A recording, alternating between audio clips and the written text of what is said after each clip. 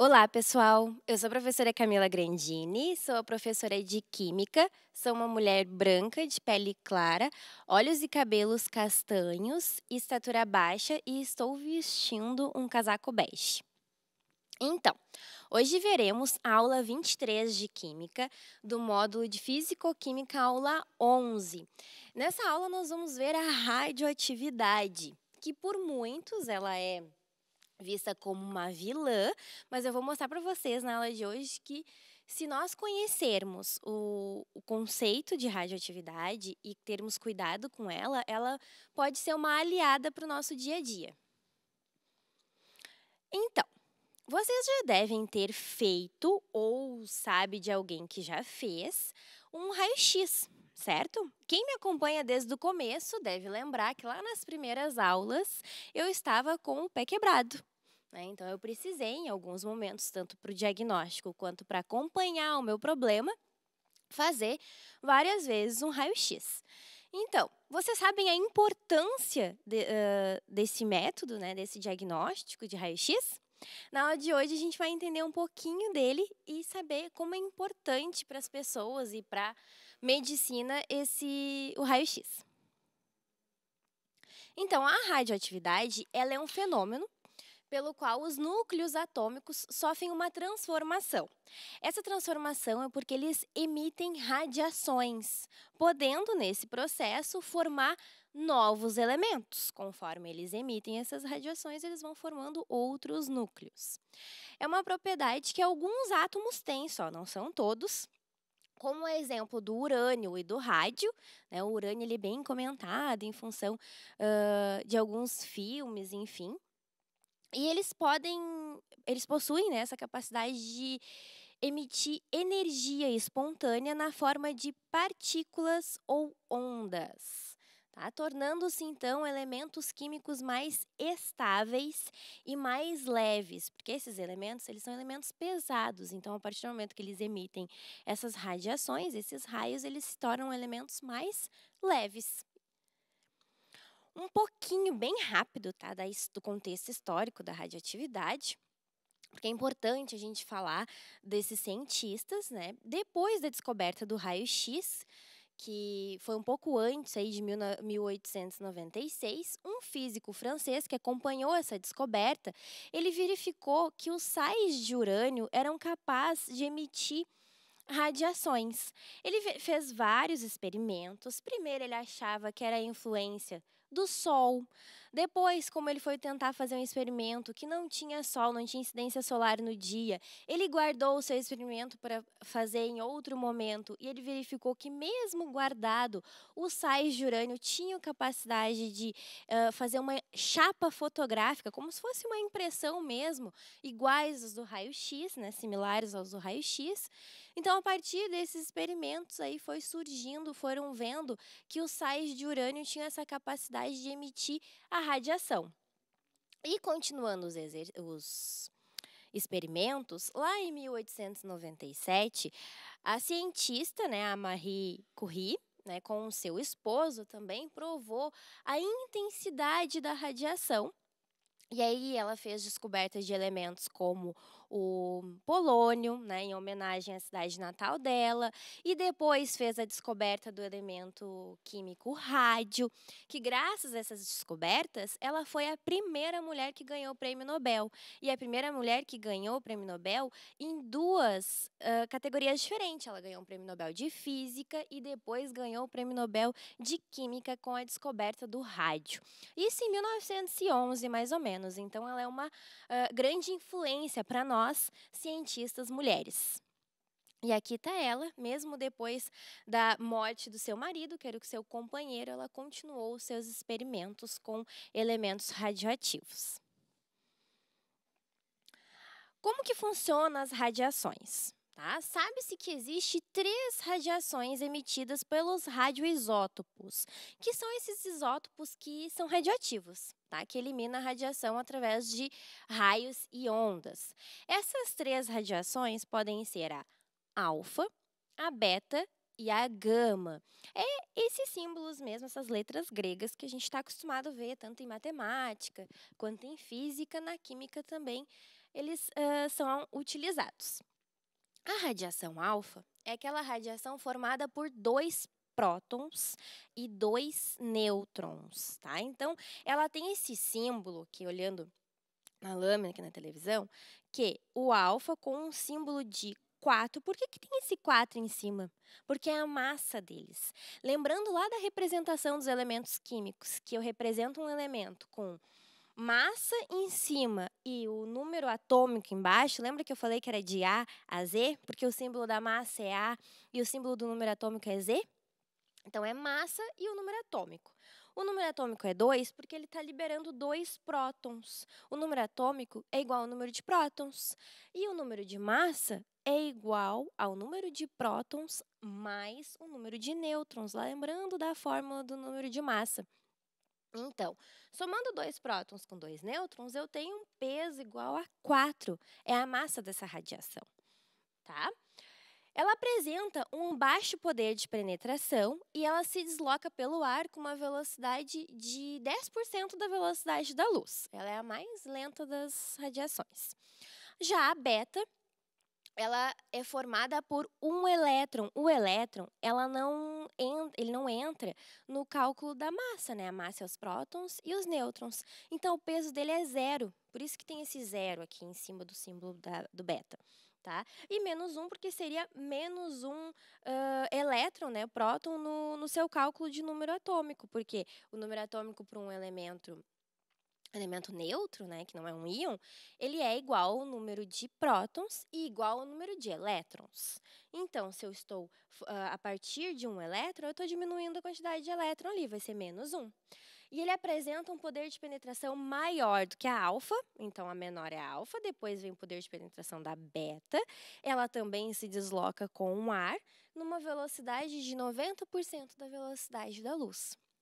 E a gama já é uma radiação formada por ondas eletromagnéticas, e é importante a gente ter um pouco de conhecimento de física nessa hora, tá? A professora Larissa aí nos ajudando nas ondas.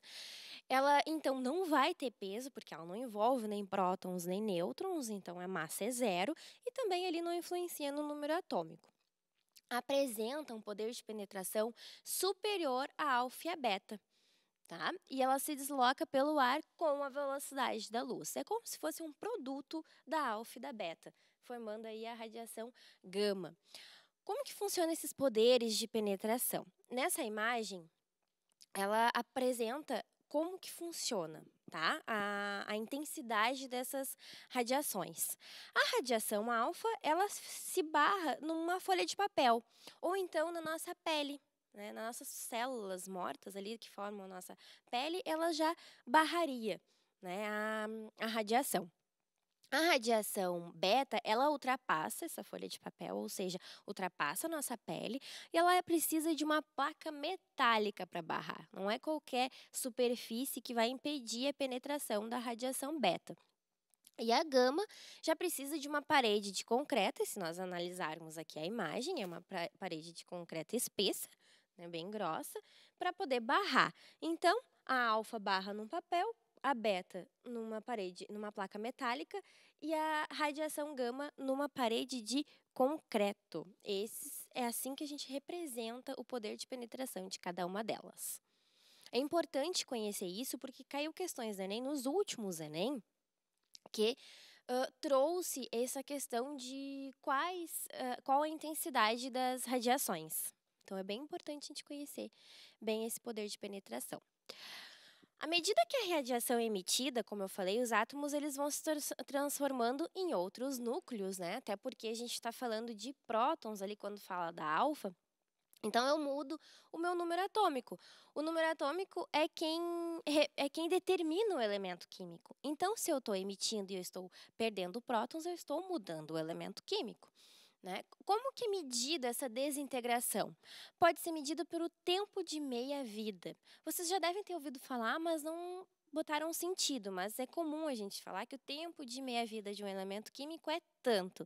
Os elementos eles podem ter tempo de meia-vida de segundos, de horas, de dias, de meses e de milhões de anos, tá? De uh, centenas, milhões de e muito tempo tá? Então, esse tempo, que é o, o tempo de meia-vida, é o tempo de desintegração do elemento para reduzir a massa desse elemento pela metade. Então, é meia-vida, por isso é metade. É a metade da massa do elemento. Então, para cada meia-vida que passa, a atividade vai sendo reduzida à metade da anterior. Eu posso ter vários ciclos de meia-vida até atingir um valor que é insignificativo, né? insignificante, que não permite mais distinguir as radiações do elemento. Então, ele se torna um elemento não radioativo. Tá? Como exemplo de tempo de meia-vida, eu trouxe o isótopo do iodo 131. Esse isótopo é o mais utilizado para tratamentos, tratamentos quem tem problema na tireoide e precisa fazer uh, radiação com iodo, ele tem um tempo de meia-vida de oito dias. Então, a pessoa que utiliza essa medicação de iodo, ela precisa ficar isolada do resto da família, inclusive de animais de estimação, durante esse período. E aí, claro, conforme a dosagem é feito o cálculo né, do tempo que a pessoa precisa se isolar. E a partir deste período, ali, quando encerra, neste caso, os oito dias, ela pode voltar à vida normal, porque aquele, uh, esse elemento químico deixou de ser prejudicial para os demais, né, já que é utilizado a radiação dele para o tratamento de problemas na tireoide. Existe também o decaimento radioativo. É um fenômeno que permite prever quanto tempo, né, determinada quantidade de, dos átomos, eles poderão produzir esses, essas emissões radioativas. É uma previsão estatística, tá? É, ela é matemática, pressupõe uma, o decaimento de 50% dos átomos radioativos em um determinado período de tempo. É como se fosse ali o tempo de meia-vida. Tá? O exemplo eu trouxe o urânio 238, que é um isótopo radioativo que sofre o decaimento por liberar uma partícula alfa. Vocês lembram o que é a partícula alfa? É aquela que tem dois prótons e dois nêutrons. E com isso ele origina o tório, tá? Tá aqui ó, o símbolo do tório, que é o, TH. Por que aqui? Aí a gente consegue entender essa questão do número de massa, tá? Porque ele parte de um número de massa 238 e o número atômico 92. Então, 238 eu liberei um alfa, eu vou estar tá liberando 4 em unidades de massa e 2 em unidades de número atômico. Então, que são dois prótons, né? Eu vou ter um número atômico que era 92, vai passar para 90. Muda o elemento químico. O número atômico 92 é do urânio. O número atômico 90 é o tório. Então ele vai tendo um decaimento e aqui a gente vai entender no próximo na próxima lâmina, ó, a transmutação natural. Isso acontece de forma natural. É a emissão das radiações desses desses elementos que acaba tendo ó, um decaimento contínuo até formar o chumbo, neste caso, né, do urânio, a gente chega ao chumbo, que é um elemento que não é radioativo. Então, eu tenho um núcleo estável, porque parou de, de, de liberar radiações. Então, ele se tornou estável.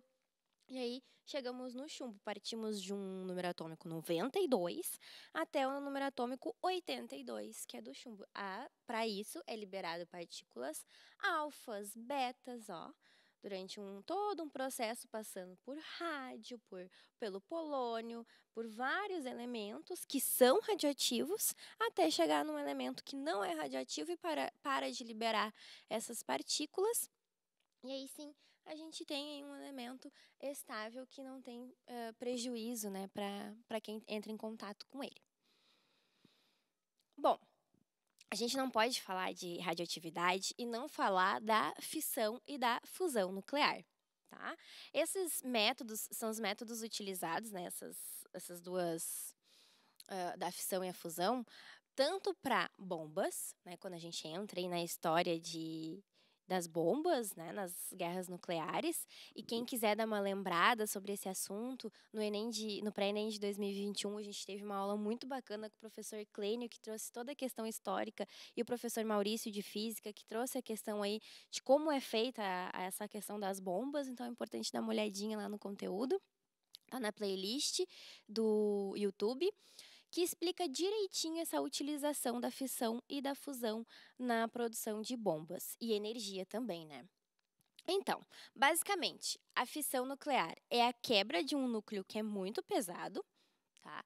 Como o átomo de urânio, aí, que tem 235 neste caso, provocado pelo bombardeamento, desculpa, por nêutrons, formando sempre sempre vai ter essa liberação né, de dois núcleos menores do que era o de partida, né, no caso urânio, e também liberando nêutrons. E aqui a imagem traz isso bem direitinho. Eu tenho o urânio com os nêutrons, né? Esse bombardeamento, ele vai formar dois elementos diferentes e menores, porque eu parti de um de 235, 236 para um de 144 e 89, mais esses nêutrons. Esses nêutrons, esse processo que libera esses nêutrons, que é uma quantidade considerável de energia térmica, é o que pode ser convertido em energia elétrica. Porém, e é muito importante a gente saber disso, tá? Todos os núcleos que são formados, eles também são radioativos. Então, eu vou ter um processo que gera um lixo nuclear. Eu tenho um lixo radioativo. Então, se eu quero transformar uma energia uh, térmica em elétrica, eu tenho que ter esse cuidado, né? De ser uh, limpa de não ter um novo problema, que nesse caso um lixo uh, nuclear. Então, quando eu tenho fissão, eu tenho essa, esse, essa formação de produtos que também são radioativos, certo? Quando eu falo de fusão, é um processo daí da junção de elementos leves. Fissão, eu estou falando de elementos pesados. Fusão, elementos leves. Então, aí se trabalha com a questão das bombas de hidrogênio. Porque se a gente lembrar o hidrogênio, ele é o elemento mais leve, né? Só que a gente tem os isótopos de hidrogênio. Nessa reação aqui nesse, nesse diagrama que eu trouxe, a reação ocorre entre dois isótopos de hidrogênio, que é o deutério, que é o que tem uh, massa 2, e o trítio, que tem massa 3, igual a 3, tá? Então, quando esses dois isótopos são submetidos a temperaturas muito elevadas, eles conseguem se unir e formar o núcleo do hélio, tá? Que aí teria um número atômico igual a 2, né?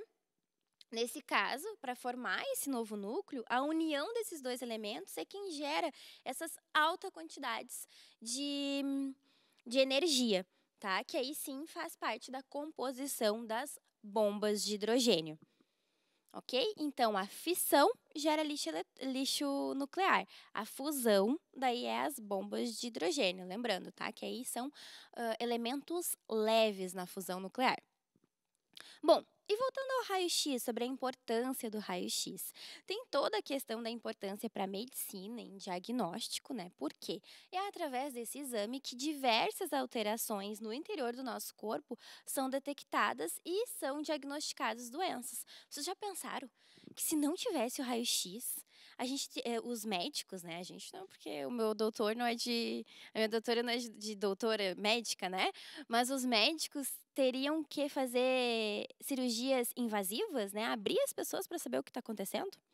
E com o raio-x a gente consegue verificar isso através de uma simples foto, vamos dizer assim, fotos do nosso interior.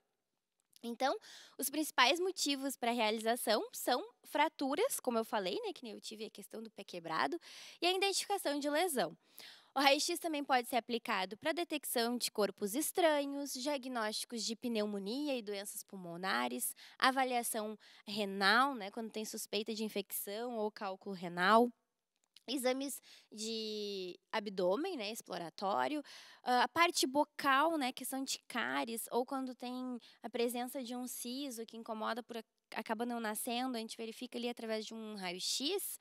A coluna também verifica problemas de coluna e buscas de tecidos moles que podem ser tumores ou tecidos anormais, né? Formação de algum tecido anormal é verificado também através do raio-x. Então, sim, ele é muito importante para diagnóstico, né, de uh, vários tipos de doença. Então, a radiação é utilizada na medicina também para diagnóstico e para tratamento, como eu mostrei para vocês a questão do iodo, que é para tratamento de problemas de tireoide. E a, a radiação também tem outras aplicações, como a determinação da idade de um fóssil, né, de um, ou de um ser vivo, né, de uma peça, que seriam os fósseis, que é feita através da datação do carbono 14. Aí utiliza o tempo de meia-vida do carbono.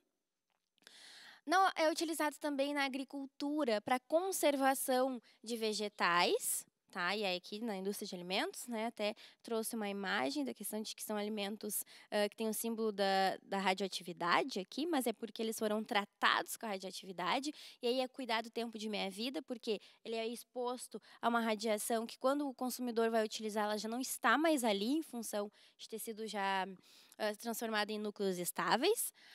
É utilizado na inspeção de aeronaves para verificar defeitos e danos. Imagina que vocês não estão enxergando que o avião tem uma rachadura, mas é só interno. Não tem como saber se não tiver um equipamento de raio-x, né? Então, imagina o risco de andar com uma aeronave com problema mecânico ou de rachadura. Através do raio-x eles conseguem verificar e fazer uma manutenção nessas aeronaves. Também é utilizado na esterilização de componentes hospitalares, com os materiais de segurança individual, os EPIs, luvas e seringas, enfim.